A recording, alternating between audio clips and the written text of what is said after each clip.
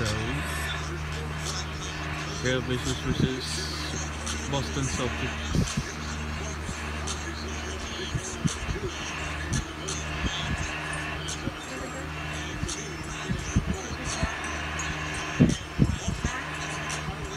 In halftime. It's Kyrie and Avery Bradley. Welcome back, Ryan Holland. I fixed it for Gordon Hayward, and What do you think of my new Celtics lineup?